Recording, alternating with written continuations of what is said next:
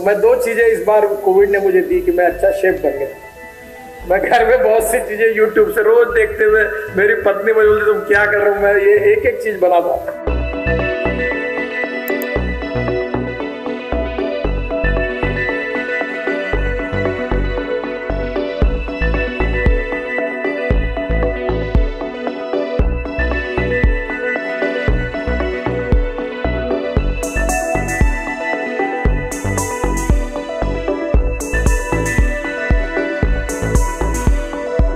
तो मैं कोविड में मुझे एक फ़ायदा हुआ कि मैं बहुत भाषण देने का वीडियो या वीडियो कॉन्फ्रेंस से बोलने लगा।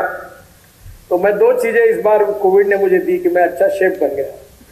मैं घर में बहुत सी चीज़ें यूट्यूब से रोज देखते हुए मेरी पत्नी मुझे बोलती, तुम क्या कर रहे हो? मैं ये एक एक चीज़ बनाता और दूसरी चीज़ मैं यूट्यूब वीडियो पे वीडियो कॉन्फ्रेंस से बोलने लगा। तो वर्ल्ड में America New Zealand Germany, universities, कम से कम मैंने इतने जगह मुझे भाषण करने का मौका मिला, मैंने कभी कल्पना नहीं की थी। पर आज मुझे चार लाख रुपए महीना यूट्यूब से मिलता है, क्योंकि मेरे भाषण जो सुने थे उससे रॉयल्टी मिलती है। वो भी फ़ायदा हो गया। तो ये कभी कभी किसी बात से कोई नई बात मिलती है सीखने के लिए।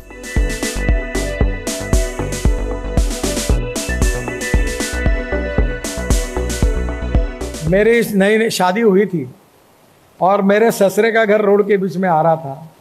तो रामटेक में वो रोड बन रहा था तो मेरे पत्नी को बुना बताए। सासरे के घर पर बुलडोजर चला दिया था और वो रोड उखाड़ दिया था। तो अभी मुझे अधिकारी बता रहे थे कि आपका भी भाभी जी का कहीं शायद यही घर है।